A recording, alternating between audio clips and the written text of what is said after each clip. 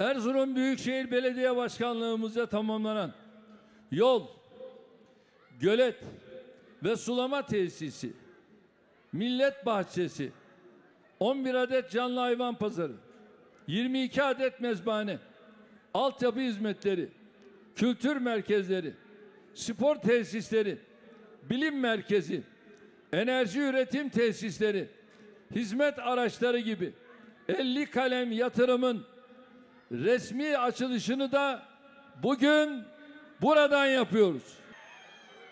Tüm eser ve hizmetler Erzurum'umuza hayırlı olsun.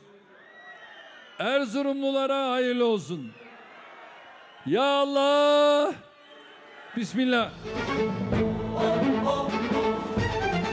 Değerli konuklar, Cumhurbaşkanımız Sayın Recep Tayyip Erdoğan, Erzurum'da yapımı tamamlanan Erzurum Şehir Hastanesi, İl Emniyet Müdürlüğü Hizmet Binası, Canlı Hayvan Pazarı ile yapımı tamamlanan diğer projelerin açılışını kurdele kesmek suretiyle gerçekleştirmiş ve siz saygıdeğer Erzurumlu hemşerilerimizin ülkemizin hizmetine sunmuş. Erzurum'da gerçekten e, hayvancılık, ihtisas organize sanayi bölgesi, hayvan borsası, hayvan pazarları, modern bir süt fabrikasının gerekliliği bunların hepsini biliyoruz. Bunlar hep önemli konular.